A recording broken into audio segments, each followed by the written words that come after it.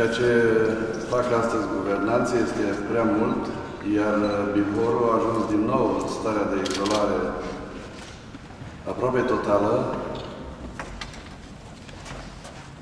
Nu mai este vreme să vină bani în pace, nu sunt uh, cofinanțări aprobate pentru proiectele Bivorului. Instituțiile importante pleacă din uh, arealul județului, se mută în altă parte. În general, vedem că ponderea deciziilor importante nu mai au loc în Bihor, tocmai datorită acestei marginalizări excesive pe care o practică guvernul Boc.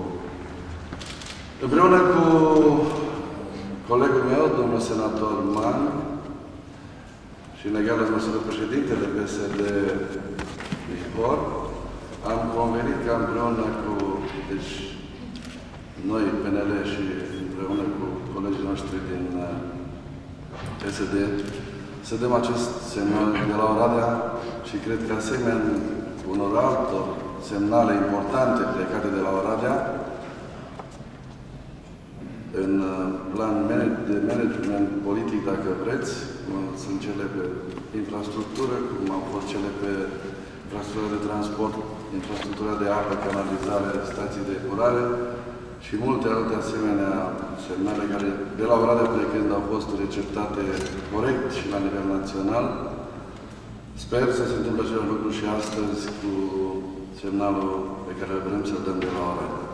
În principal, subliniez și rog pe domnul președinte Marc, după aceea să cuvântul, subliniez acest semnal vrem să-l dăm tocmai pentru izolarea excesivă la care este supus, fără niciun fel de, de uh, artificii, fără niciun fel de rezerve, viitorul de către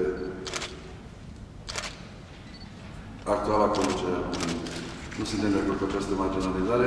Avem datoria să luptăm în nivel, la nivel central, la nivel local, pentru a promova proiectele ale comunităților locale, pentru a promova proiectele demarate la nivel județean, pentru a face demersuri la nivelul instituțiilor centrale, ca banii din România să nu se întoarcă numai pentru salarii și uh, pensii, ci să se ia în calcul și proiectele importante ale comunităților și noi, sigur că, în primul rând, suntem datori să putem grija bihorenilor.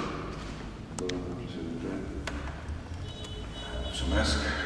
Bună ziua, vă spun și eu tuturor și vă mulțumesc pentru faptul că ați onorat cu prezența conferința noastră de presă de astăzi.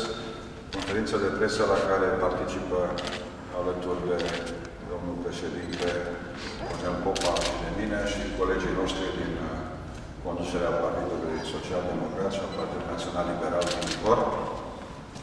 Este un moment important, zic eu, în viața celor două organizații, dar uh, aș îndrăzi să spun că e un moment important în viața celor două partide.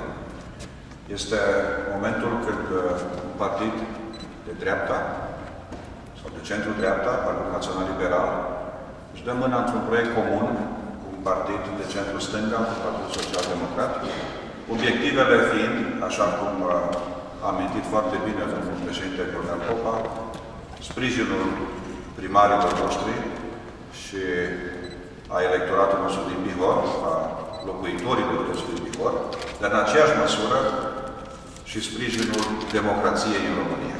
În acest moment, cel mai mare pericol pentru noi toți este dispariția democrației. Semnele se văd foarte clar.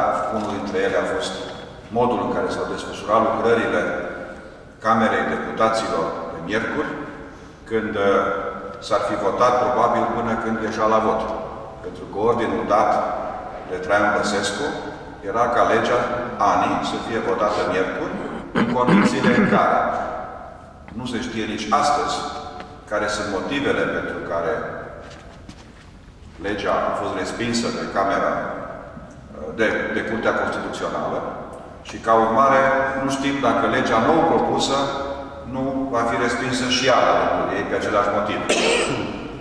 A fost o lege adusă în Parlament după două ore în care, pe care deputații le au la dispoziție să citească legea. Că regulamentele spun clar, trei zile de la discutarea în comisii a oricărei legi. Astfel de semne, din păcate, ne dă în ultima vreme tot mai mult puterea pe de listă, la îndemnul lui Traian Băsescu, cu acel executant numit Emil Boc, pe care îl putem caracteriza, cum citeam într-un material ieri, ca și premierul Arhimede. Pentru că așa cum lichidele iau forma vasului în care sunt puse, și premierul României ia forma care o cere Traian Băsescu. Este inadmisibil să călcăm în picioare toate legile, toate regulamentele și Constituția României și pentru aceasta trebuie ca două partide care știu ce înseamnă democrația să-și dea mâna și să lupte împotriva puterii pe de listă care dorește cu orice preț să treacă la ei toți primarii, toți consilierii, toată țara asta să li se supună, iar PDL-ul să devină partidul stat. În Bihor avem datoria și ne asumăm acest lucru, cele două partide, de a ne apăra primarii, de a ne apăra consilierii locali, de a, de a ajuta să rezolve proiectele, astfel încât în 2012 să câștigăm alegerile împreună în Bihor și în țară și să anihilăm acest cancer al democrației care se cheamă Partidul Democrat Liberal.